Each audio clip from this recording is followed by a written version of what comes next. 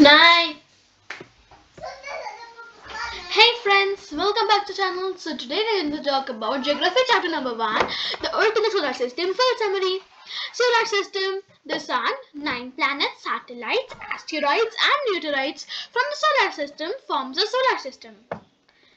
Sun. The sun is the center of our solar system. It is made up of extremely hot gases. The sun is about 150 million kilometers away from the earth. So you can imagine how far it's from us. Planets. There are nine planets in our solar system. The nine planets are Mercury, Venus, Earth, Mars, Jupiter, Saturn, Uranus, Neptune. Here I have not mentioned Saturn because of some mistakes, but Saturn is also uh, a planet. Planet moves around the sun in a fixed orbit. It's not like planets are going here and there. Planets move in a fixed orbit. Mercury is the nearest planet of the Earth, but it's not the hottest planet because Mercury does not have atmosphere and Venus has the second planet Venus has atmosphere. So that's why Mercury has, is not the hottest planet but Venus is the hottest planet. The Earth. Is the third nearest planet to the Sun and fifth largest planet of our solar system. So you can see full third planet to the Sun, Earth, and fifth largest planet. It is the Earth that is that is the Earth that is a life supporting planet. It's a unique planet because it supports life. It has water, it has air, and whatnot. It also called the blue planet because 70% of the water is present on the earth. It shapes as a geoid. Have you seen any, uh, uh, you know what, have you seen any, uh, uh, you know what, orange? Or have you ever eaten? How it's like, it's, the poles are like daba daba type. So that is like a shape of geoid and earth is like that only. The moon. The moon is the only satellite of the earth. The moon is only the satellite which is a natural satellite. Natural satellite is the uh, the satellite which is made in the solar system and now it became a uh, satellite of a planet. Like the moon has become the satellite of the earth. Its diameter is one quarter of the earth. It is about 3 lakhs 84,400 kilometers away from us. It's the nearest uh, celestial body of the earth. But as you can see, it's far but near. It moves around the earth in about 27 days. Only one side of the moon is visible to us on the earth. No life exists on moon as it has neither air nor water. Asteroids. They are numerous tiny bodies which move around the sun between the orbits of Mars and Jupiter. The largest asteroid is Ceres. Meteorites, the brother of asteroids. The small pieces of rocks which move around the sun are called meteoroids. Our solar system is part of the Milky Way galaxy. Milky Way galaxy was named as Akash Ganga. In ancient times, Milky Way galaxy was known as Akash Ganga. There are millions of galaxies that make the universe. You live in Earth. Earth is in solar system. Solar system is in galaxy and galaxy is in universe.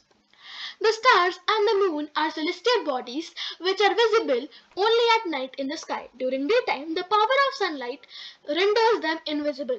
Have you seen any aeroplane in the sky? It looks so small. From my side, I think that I can fit the aeroplane in my pocket. But from if we talk about a real version, it's very, very, very big that you can't even, it's your height why? Because it's so big. But because it is so far from us, we can't, uh, we see them it very small.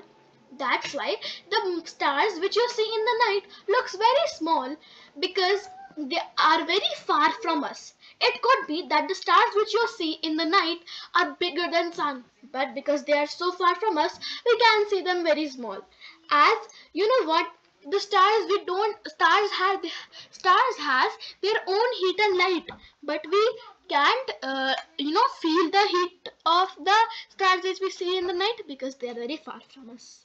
The moon appears differently of different nights like the full moon only once a month on the Purnima night whereas the, on the 15th night after that there is no moon in the sky which is called Amavasya. This is a new moon. In this there is no moon in the sky. It's called Amavasya. So let me tell you from the starting. It's third quarter. Then it's waning gibbous then full moon, then waxing gibbous, first quarter, waxing crescent, new moon, no moon at all, waning crescent and like this it moves. Some celestial bodies are very big and hot since they are made up of gases. They are called stars. The sun is also a star. We do not feel the heat and light of the stars other than the sun since they are very from us. From us. Groups of stars that are visible in definite patterns are called constellations. Ursa Major the Big Bear, the Small Bear, Saptarishi, etc. are some well-known constellations. You know what? Ursa Major is a constellation which is the well-known constellation. You know what? One of the most easily recognizable constellation is Saptarishi. Sapt Sapta seven Rishi sages. It's made up of seven stars and it forms a group of seven stars that forms a part of a Ursa Major constellation. You know what? Here the stars begin. And now after this end you can see North Star. And thank you so much for watching. But before that you have to learn about this. Sun. This is Sun. And some nearest planet is Mercury. But Mercury has not atmosphere. That's why the heat goes to Venus. Venus is the hottest planet. Third planet third uh, third planet to the sun is Earth, which we're living. Mars, asteroid belt. I tell you in the asteroid spot that asteroids are found uh, in Mars between Mars and Jupiter. Here you can see. Now this is Saturn, this is Uranus, and this is Neptune. And you know, in 2006, Pluto was set as a dwarf planet. And if you have, haven't subscribed to my channel, don't forget to subscribe to my channel, like to my video, comment. Have if you have any suggestions or any queries, you can comment me down and share this video with your friends. And you have to subscribe like this. Thank you so much for watching. Bye bye.